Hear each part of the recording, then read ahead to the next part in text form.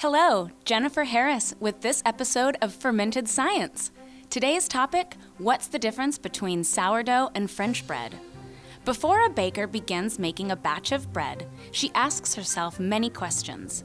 Should you use white flour, whole wheat flour, rye flour, or flours made from other grains? Will she add nuts, spices, or herbs?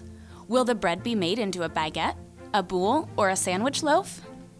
In addition to these choices, another thing that a baker will consider is the leavening agent, also referred to as a raising agent, which is what causes the bread to rise. The leavener lightens the dough or batter by producing air pockets or bubbles throughout it. A chemical leaven is often found in quick breads, cakes, and even cookie recipes. Combining vinegar and baking soda will produce gas within the dough through a chemical reaction, causing foaming throughout the batter. Another popular leavening agent is baker's yeast, usually found in tiny paper envelopes in the baking aisle. Inside of these packets is a yeast that scientists call Saccharomyces cerevisiae. When you wake up this yeast by stirring it into warm water, it is hungry to eat sugars and starches. This is a fermentation process in which the yeast breaks down the carbohydrates in the flour. Carbon dioxide is produced in this fermentation, causing the bubbles to make the bread rise.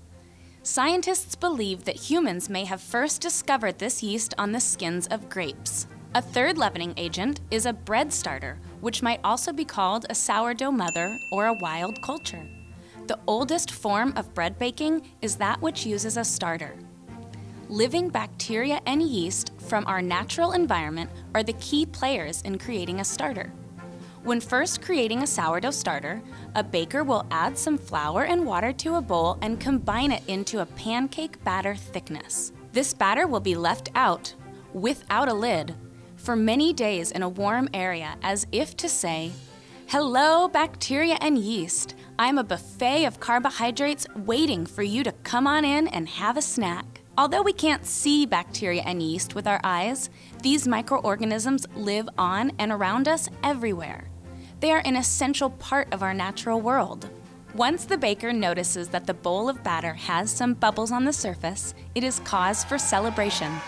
This humble bowl of batter can be divided in half, using half of the starter to create the bubbles in a batch of bread. To the other half, the baker will add some more flour. Think of it as food for the bacteria and yeast, and save it for a batch of bread later in the week. Because both bacteria and yeast multiply quickly, it is important that the baker remembers to feed new flour to this starter every few days to keep it growing for many batches of bread. The bacteria in this starter will produce carbon dioxide to leaven, as well as acidic and sour flavors. This is where sourdough gets its name. There's a type of bread for every occasion, whether you'd like a soft slice of whole wheat bread for your sandwich or a thick crusted cut to dip into your soup. The one thing that all bread has in common is that it has relied on bacteria and yeast to be delicious. I'm Jennifer Harris, and thanks for watching Fermented Science.